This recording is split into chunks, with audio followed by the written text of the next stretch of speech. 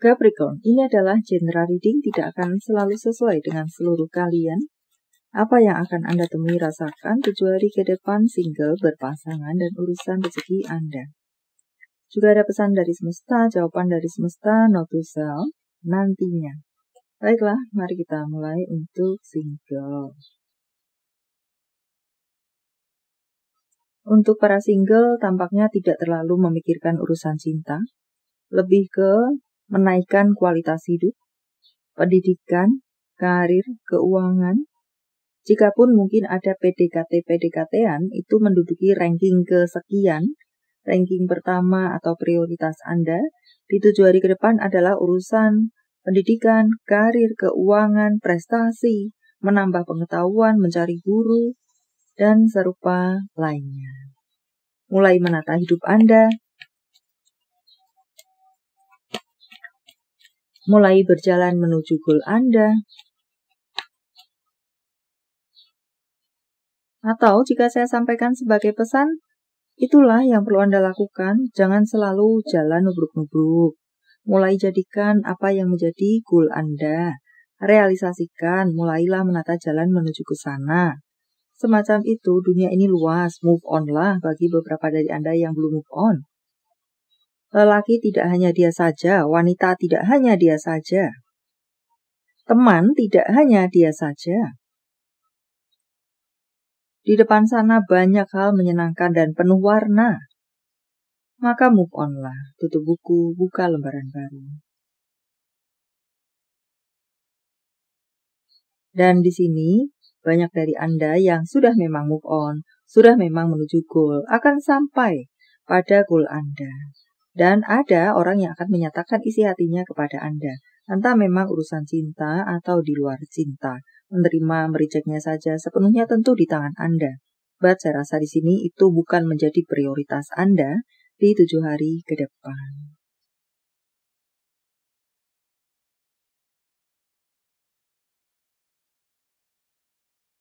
Berpasangan. Baik-baik saja. Apalagi yang tidak baik-baik saja. Tampak di sini ada kejenuhan, ada kebosanan terhadap rutinitas yang terjadi. Dan perlu memang Anda ini men-shake hubungan Anda. Men-shake, meng, mengapa ya? Men-shake itu bagaimana? Men-shake. Mem melakukan sebuah perubahan, melakukan sesuatu yang berbeda, semacam itu, dalam hubungan Anda. Yang tidak baik-baik saja, lakukan sesuatu supaya bisa menjadi baik, tidak merupakan hubungan yang perang menjadi langganan.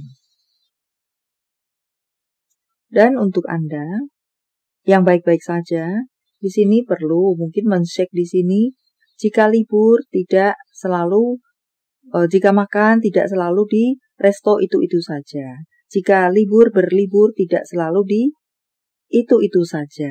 Mungkin semacam itu. Atau di sini ada yang sibuk sendiri dengan pekerjaannya. Pulang, beberes, berbincang 5 menit mungkin itu pun membicarakan bagaimana tadi suasana di kantor, di pekerjaan, kemudian sudah tidur. Tidak ada komunikasi yang hangat dalam hubungan, tentang hubungan. Semacam itu kah? Kemudian bangun pagi, yang satu membereskan, menyiapkan, yang satu membereskan diri untuk bersiap berangkat bekerja. Rutinitas yang seperti itu selalu beberapa dari Anda menderita kebosanan karenanya. Maka sekalian Anda perlu men-shake melakukan sesuatu yang berbeda untuk hubungan Anda, menghangatkan kembali dalam hal komunikasi, juga membicarakan tentang hubungan. Dalam hal ini mungkin bagaimana kabarmu hari ini. Tidak hanya menceritakan, aku tadi di kantor begini, begitu, begini, begitu. Sudah selesai. But, mungkin bagaimana juga kabarmu hari ini. Bertemu dengan siapa saja. Atau apakah si orang tuamu baik-baik saja. Atau si Anu bagaimana kabarnya. Dan serupa lainnya. Membicarakan tentang urusan hubungan pula. Semacam itu kah? Entah suami istri, entah masih berpacaran, Lakukan perubahan, menghangatkan kembali hubungan, atau melakukan sesuatu yang berbeda, entah apakah. Karir. Wow, karir yang amazing. Karir yang meningkat penuh dengan keajaiban, rezeki tidak terduga, banyak kelancaran secara usaha di sini untuk sekalian Anda. Bantuan-bantuan sesuai dengan yang Anda butuhkan akan berdatangan kepada Anda jika itu yang Anda maksudkan.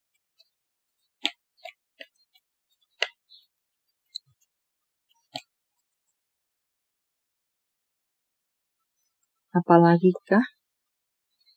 Beberapa dari Anda akan melakukan perjalanan atau menjadi utusan di sini, mewakili perusahaan, survei lapangan, atau entah apakah mewakili perusahaan Anda. Beberapa dari Anda akan dipindah tugaskan, dirotasi, entah untuk menduduki kedudukan yang sama atau lebih tinggi, semacam itu untuk beberapa Anda. Keuangan yang lancar, lancar-lancar saja atau melancar, mengerjakan rutinitas seperti biasanya atau jika bertambah pun masih berada bisa Anda handle dengan baik. Dan tampaknya di sini ada beberapa dari Anda yang menemukan passion Anda dan sangat terkonsentrasi untuk mengembangkan bakat Anda tersebut atau entah apa pun banyak hal akan Anda lakukan untuk mengembangkan diri Anda dan itu tidak bisa diganggu gugat. Mungkin Anda akan berkarir di tempat lain dan itu adalah memang idaman Anda atau Anda akan menempuh pendidikan di tempat lain dan itu adalah memang yang Anda inginkan. Dan walaupun ada rala, hmm, walaupun ada larangan-larangan terhadap apa yang menjadi keinginan Anda tersebut, Anda tetap akan melakukannya. Tampaknya semacam itu. Karena memang itu sudah lama Anda inginkan dan tiba waktunya Anda mendapatkan kesempatan tersebut. Maka Anda akan terkonsentrasi di sana. Walau larangan-larangan ada beberapa dari Anda terima. Dari orang tua, jangan ke menyeberang ke sana terlalu jauh dari kita misalnya. Atau orang terkasih Anda padanya menjalani hubungan LDR dan dia tidak siap untuk menjalani hubungan LDR. Jika bisa di sini saja, kita tetap bersama saja, tidak LDR. Ada yang akan menerima larangan atau kerebelan-kerebelan semacam itu. Ya, yang akan Anda tinggalkan pada rebel. Keuangan, padahal ujung-ujungnya toh itu tidak tidak untuk selamanya. Atau tidak untuk selamanya di sini setelah seminggu, dua minggu, sebulan, dua bulan, toh akan kembali. Atau setahun, dua tahun, toh akan kembali. Atau mungkin jika selamanya menata hidup di seberang sana akan memboyong. Jika mungkin sudah kuat di seberang sana, maka akan memboyong eh, mereka-mereka yang ditinggalkan ke seberang sana. Bisa juga yang saya maksud di sini tidak selamanya. Bisa diatur, itu bisa diatur. Dan keuangan. Keuangan tampaknya ada sumber keuangan baru untuk banyak dari Anda. Dan pesan untuk Anda, kerjakan apa yang menjadi tanggung jawab Anda seteliti mungkin. Untuk menjaga kualitas produk Anda, karya Anda, kerja kinerja Anda di mata atasan Anda, konsumen, klien Anda, dan serupa lainnya. Di sini banyak keberuntungan untuk Anda, bantuan keuangan, peluang-peluang berdatangan kepada Anda. Jalan Anda untuk urusan keuangan Anda dimudahkan. Banjir uang, gerimis uang, banjir uang, hujan uang untuk banyak dari Anda di sini. Ada yang hujan uang karena memang sudah bekerja keras selama ini sehingga memanen kerja keras Anda maka Anda seolah-olah hujan uang, banjir uang, padahal itu adalah hasil kerja keras Anda. Semacam itu. Atau memang ada rezeki-rezeki tidak terduga turun atas Anda. Orang memberikan pekerjaan pada Anda atau menambahkan pekerjaan kepada Anda dan semua itu menghasilkan keuangan untuk Anda. Berbahagialah, ada kebahagiaan akan Anda temui dan rasakan. Serta di sini ada perayaan. Entahlah di sini. Solekan untuk Anda. Anda berkelimpahan. Tidak ada salahnya untuk merayakan kelimpahan Anda, kesuksesan Anda sebagai bentuk syukur Anda.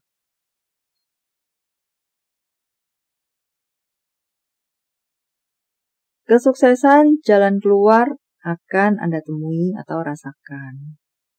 Kesuksesan, kesuksesan, kebahagiaan, ke, ke apa ya, perayaan tampaknya di sini penuh dengan keceriaan dan kelegaan. Wow, dan ini adalah kebahagiaan yang luar biasa, kebahagiaan yang di atas rata-rata. Akan bisa Anda penuh temui dan rasakan. Bahagia level up sehingga membuat Anda bisa bersantai sejenak. Di sana mengatakan tentang bersantailah. Makan makanan yang sehat dan seimbang. Tidak selalu junk food dan serupa lainnya. Sesekali oke. Okay. Tetapi ya Jagalah baik-baik kesehatan Anda, you know, kesehatan itu mahal harganya. Merembet ke sana. Pahami diri Anda untuk berikutnya. Apa yang menjadi goal Anda, tujuan Anda, yang Anda mau, yang Anda inginkan, yang Anda sukai, tidak Anda sukai, dan apakah yang lainnya. Pahami diri Anda.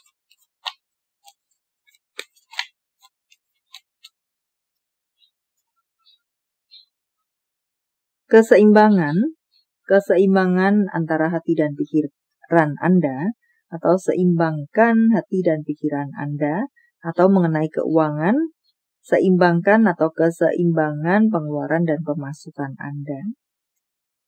Atau dalam hubungan, keseimbangan dalam hubungan, buat keseimbangan dalam hubungan, dan dengarkan kata hati intuisi Anda sebagai bimbingan langkah-langkah Anda. Ada kelimpahan, ada kabar-kabar baik yang bisa Anda terima. Temui, rasakan di tujuh hari ke depan. Peluang atau sumber keuangan, sumber-sumber kebahagiaan bisa juga mengatakan semacam itu, sumber kebahagiaan. Entah apa itu. Urusan cinta, di luar cinta. Jawaban dari semesta. Sementara saya menshuffle kartunya, silakan fokuskan pertanyaan Anda dan jika membutuhkan waktu lebih, silakan Anda pause walau tetaplah ini bacaan untuk banyak orang. Kesembuhan, lakukan kesembuhan, penyembuhan, dan serupa lainnya merupakan jawaban untuk Anda. Angka. Jika jawaban Anda berbentuk angka, inilah mereka. 378, 36, 37. Tanggal bulan tahun kelahiran, tanggal bulan tahun baik, penjumlahan.